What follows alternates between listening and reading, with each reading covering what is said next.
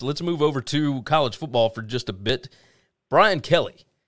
Now, since you and I last spoke, Brian Kelly decided at some point, I don't know if he did it accidentally. It's kind of hard to accidentally share something on uh on Instagram stories. I think you kind of have to have a purpose when you get in there. But uh but he shared a Twitter post on his Instagram stories that read like this. Uh, it was from at stinky one seven three. Uh, go ahead. There's a screen. It's a screenshot. It's a screenshot. Yeah. Of a tweet from 18 months ago. Yes, from well, no, no, no, from uh, like three or four months ago. It's from January fourth, twenty twenty two. Okay, so but the tweet happened a long time ago, and the Yes. tweet was public knowledge, public information, out into the ethos. Everybody saw it, right? Yep, yep, you got that right. So here's the the Twitter name is at stinky one seven three zero two one five three. Right, just a generic Twitter name, whatever. And it was replying to uh, a big time uh, Irish, you know, Fighting Irish Twitter handle. It said everyone who is connected with sources inside the current program knows that Notre Dame AD is retiring in two years, along with President Jenkins. Jack wanted to please the people, so he didn't search for a coach and hired Marcus. Hope he made the right choice, but I doubt it. Now, Brian Kelly So last these are not Brian's words. These are somebody else's words. well, Brian somehow screenshotted 18 months ago. uh, well, and four then- months ago, but it- regardless, Whatever. yeah, Four months ago. It, but he screenshotted this. But here's the deal: Do we know that those are not Brian's words? Like, is there a possibility that this is Brian Kelly's I- burner account? I think no. I think there's less than zero chance that, that, that this is Brian Kelly. Why would he screenshot his own tweet? Uh, you only got to, me. Only to accidentally share it out later. I've never screenshotted a tweet that I made. That no, this is you're 100 percent right about that. You're 100 Okay, percent right about so that. that. That goes against, and I and I don't know how to use technology. Brian Kelly and I are basically the same person when it comes to our abilities to use. He might be more advanced with this shit than I am. Okay, because he hangs out with 18 year olds and I don't. So It's uh, who knows? I, I doubt it. I doubt that. But uh, this this whole situation we saw last summer. Brian Kelly did say at a Notre Dame news conference or press conference or whatever that Marcus Freeman was going to be the next coach, and and then he of course it, everybody took it to mean he was going to be the next coach at Notre Dame. Everybody kind of followed up with that and was like, "Okay, are you saying you're about to retire? Like, what is going on here?" And it ended up coming to fruition. So this person says anybody who's connected inside the program knows that the AD and the president at Notre Dame are going to retire in two years, and that Jack just wanted to please everybody, so he didn't even do a search. He just hired in house. I what do you think there's any truth to this? uh, about that part, probably. That I think there that is. wouldn't surprise me. That wouldn't surprise me at all.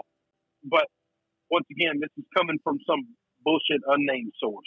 Oh, 100%. 100%. And, and you can never tell what to take seriously and what not to. I do find this interesting that Brian Kelly, who is as well connected inside that program as anybody inside of Notre Dame, uh, that he would have screenshotted this, right? Like, it, Well, even hang on now. You don't just screenshot things that you agree with. I, I screenshot stuff all the time that I think is insane, and I send it to to you guys all and that is true. And say, hey, you see, you see what these dumbasses are saying? Do you see what the rumors are going on around here? Like, look how moronic these people are.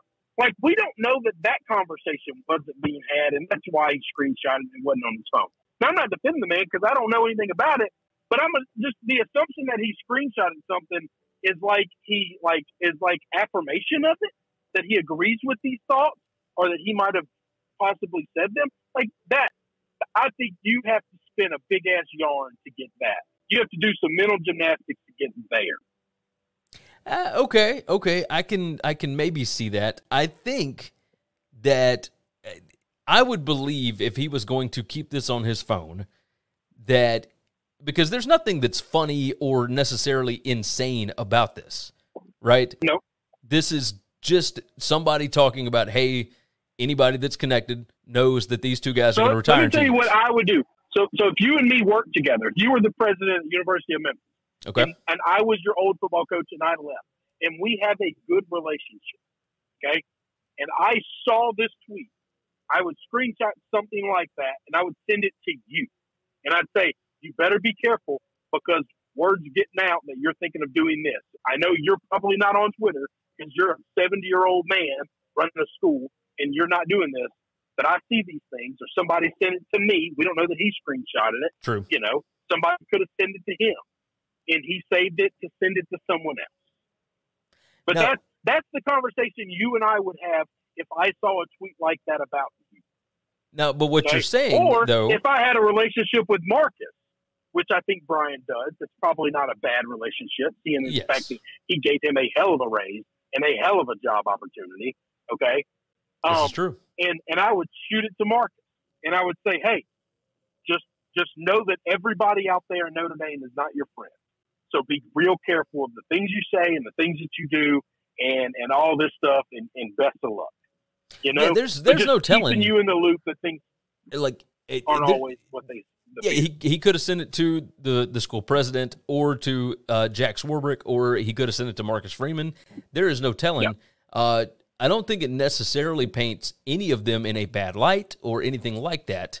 Um, I mean, obviously, you would hope that Marcus Freeman would be hired for his football acumen as opposed to Sure. uh, he was just trying to make the fans happy, right? A hundred percent. And it, but if you're if you're trying to make the fans happy, honestly, you you could do that by going out and doing a search and bringing in Luke Fickell or whoever like whoever you brought in. I think was going to make a lot of people happy anyway, because I think a lot of people were done by Brian Kelly.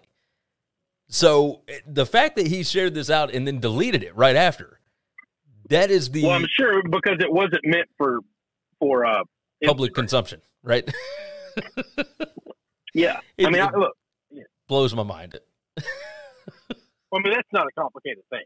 I got a lot of I got a lot of screenshots on my phone or a lot of things on my phone, and every time I try to tweet a picture, like I have to like look and recheck. Is this what I was wanting, trying to send? And is this going to go in the order I wanted to go in? Like, you know, just Oh yeah. it's not it's not as easy for old people, Gary. It's just not. No, no, it, it, it totally makes sense. Like I the I've got an iPhone and it is complicated. I uh, I don't always know exactly what I'm what I'm sending when I do it, so it, hence why you know uh, you you try and create photo albums, you try and do something to like keep stuff separated and all that kind of mess. Um, but it's uh it, it is a bit of a thing, right? It's trying to figure out what you're going to do with it. I, in this situation, I am very curious because we did I'll have tell you this. we did have the slip of the tongue last summer, and and now we've got this. Well, I'm not worried about the slip of the tongue last summer. I mean, you know, whatever. But like, uh, you know, we so me, you, and, and our boys from Northwestern Yep. because John refuses to get an iPhone, just absolutely refuses, and so I won't get in a group chat with him. So we went and found uh, WhatsApp, right? Yes. And I think Scuds or somebody suggested that, which was great. When they everything they send to me in a picture, it goes to my photo album. So the chances that Brian Kelly might use something that is peer to peer encrypted uh, as a texting feature with a lot of people um, is probably pretty strong. That's a pretty good opportunity that I he, would imagine. he uses that, and um, that that means somebody else could have sent him that screenshot, and it got on his phone. That is true. That is true. He may not have Because, screenshotted this because you don't have to save anything. I've got 19 million pictures of Scuzz's barbecue saved on my phone, my wife keeps asking, "What what are these grills? When did you buy that?" Like I Uh. did. That's not mine. Leave me alone. I can uh, I can show you how to turn that off. I'll, I'll fix that. Well, I don't. Well, I don't. But see, all right. So once again, I dumb dumb who doesn't really know how to use all this technology that's on my phone. These are these are simple things. I really don't care. Nothing n- unless Brian Kelly is the one that said these things. Then then then we've got a problem. Okay. But I would find that to be hard to believe that because here's the deal. He, he could do nothing but good things for Brian Kelly's reputation for Marcus to be a successful uh, head coach Yeah. because that means he's really good at hiring people. Okay, that he gave somebody uh, an opportunity on a monster, monster platform at Notre Dame. Okay, that ended up being a very successful and good head coach. So it, it, there's there's just no re, there's no benefit for Brian Kelly for you know uh, hoping for Marcus's failure. That That just yeah. I, I do agree with you. Uh, the only thing would be if if Brian Kelly could not win a national title there, and then Marcus Freeman does. I mean, that's the only Oh, okay, the only other step, right? All right, but then but then you got to look at well, Brian Kelly got us to this point, right? True, like, he built at it. some point in time, Notre Dame was miles away, and Brian Kelly making the you know making the playoff or, or the BCS title game. All of these times, eventually, you know, now the next guy comes in and takes him over the hump. So I don't I don't even know that's a huge knock on your resume. A- you you got a point there. You got a point. Uh, the So- so the the idea of the Twitter account, by the way, being uh being at uh, stinky whatever it is, uh, the the Twitter account was deactivated very shortly after Brian Kelly deleted the picture off of the Instagram.